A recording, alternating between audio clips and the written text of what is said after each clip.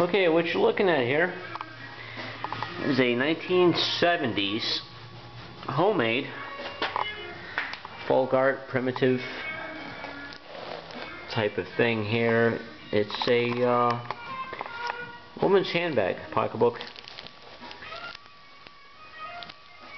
all woven together with uh, camel cigarette and Pall Mall cigarette wrappers.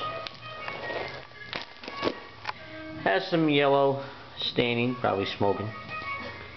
Right around the base here and along these, uh, looks like they're supports.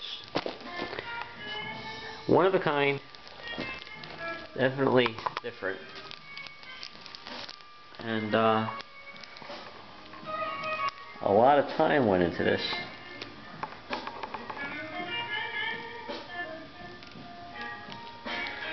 It's, uh, the pocketbook itself is about 11 by 11 inches. And uh, the space from the top of the pocketbook to where you carry it it's about uh, 9 inches.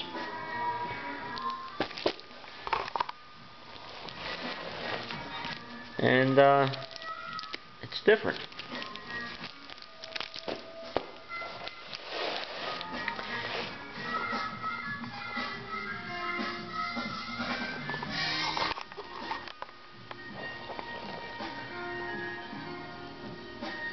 see that yellow right around right across. It's not too too bad. I guess you can consider it patina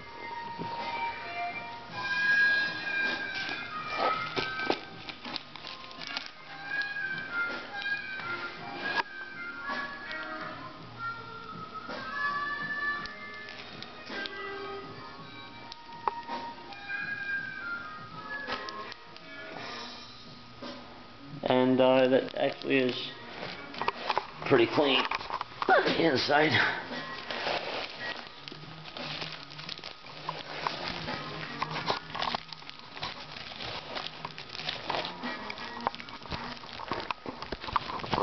You can see, somewhat.